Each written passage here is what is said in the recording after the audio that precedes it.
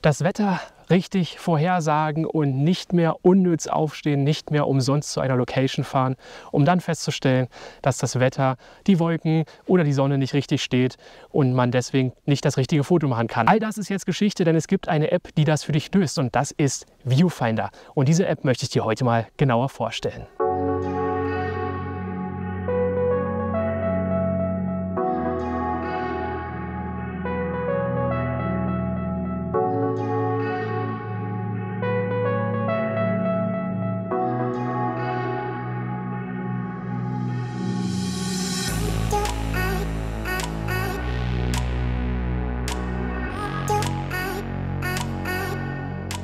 Hey Leute und herzlich willkommen zu diesem neuen Video. Mein Name ist Stefan, ich freue mich, dass ihr wieder mit dabei seid und heute bin ich im Fanalwald auf Madeira unterwegs und ich möchte die Gelegenheit nutzen, dir mal eine App vorzustellen, die ich jetzt schon seit geraumer Zeit nutze. Ich glaube, inzwischen sind das jetzt anderthalb Jahre oder so. Ähm, müsste ich selber noch mal nachgucken, aber es ist schon eine ganze Zeit. Und diese App heißt Viewfinder. Diese App ist für Fotografen entwickelt worden, von Fotografen für Fotografen und zwar dient sie dem Wetter bzw. der Wettervorhersage.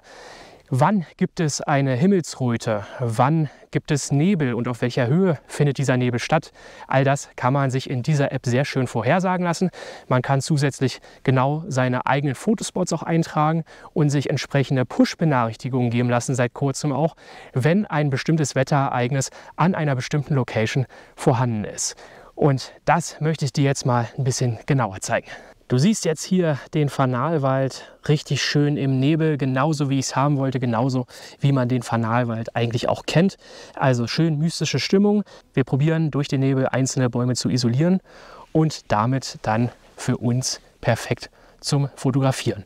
Und ich habe mit Viewfinder tatsächlich jetzt die letzten Tage immer mal wieder so geguckt, wann sieht es gut aus. Ich muss auch gleich mal dazu sagen, es hat nicht immer funktioniert. Das steht auch bei Viewfinder drin in der Beschreibung, dass das immer noch eine Wetterprognose ist, eine Vorhersage. Eine Vorhersage muss nicht immer zu 100 Prozent stimmen. Das kennt ihr aus dem normalen Wetterbericht. Aber Viewfinder zieht sich halt genau diese Wetterdaten, analysiert diese ganzen Sachen und macht daraus dann eine verständliche Vorhersage für Fotografen. Ich werde jetzt hier einfach Viewfinder mal aufmachen. Und jetzt siehst du hier zum Beispiel mal direkt, dass ich sechs Wetteralarme habe. Ich habe mir hier verschiedene Regionen festgelegt, für die ich Wetteralarme haben möchte. Zum Beispiel, weil ich jetzt gerade auf Madeira bin, habe ich mir einmal für den östlichen Teil einen Wetteralarm eingestellt und einmal für Madeira West, also für den westlichen Teil, wo ich jetzt aktuell auch gerade bin. Das sieht man jetzt hier auch sehr schön an meinen GPS-Daten. Ne? Da ist es genauso drin. Das heißt, hier bei Madeira West da wird zum Beispiel gesagt, heute am 23.11. zum Sonnenuntergang gibt es Nebel bzw. auch dichten Nebel.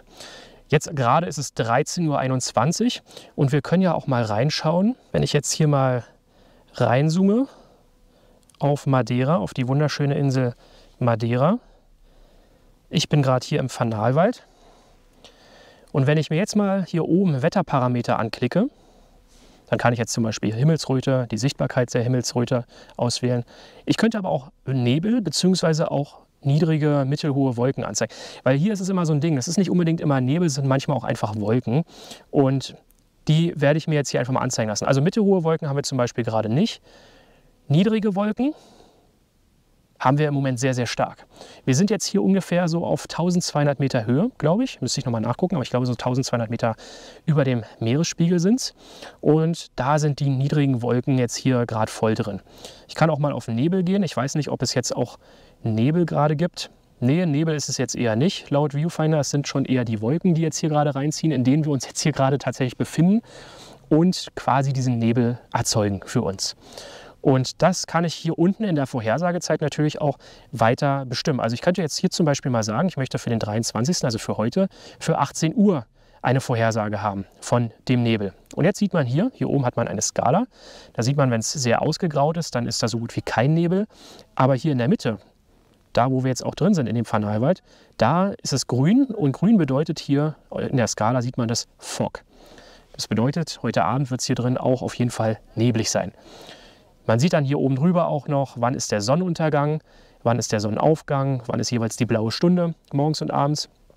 Und ich kann mir hier bis zu drei Tage im Vorfeld auch wirklich das Wetter vorhersagen lassen. Das ändert sich natürlich auch immer mal wieder. Also ich kann jetzt nicht für in drei Tagen schon genauestens vorhersagen, wie das Wetter da wird.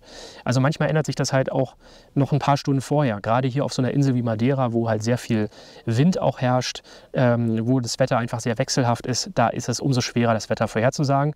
Wenn wir jetzt so in Mitteleuropa sind, in, weiß ich nicht, in Deutschland zum Beispiel, ähm, und da vielleicht auch im Flachland, da ist es besonders einfach, das Wetter vorherzusagen. Hier in den Bergen und an der Küste ist es natürlich umso schwieriger.